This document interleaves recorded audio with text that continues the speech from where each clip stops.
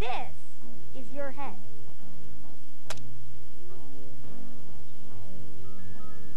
This is your head without a helmet. When you hit the road, use your helmet, not your head.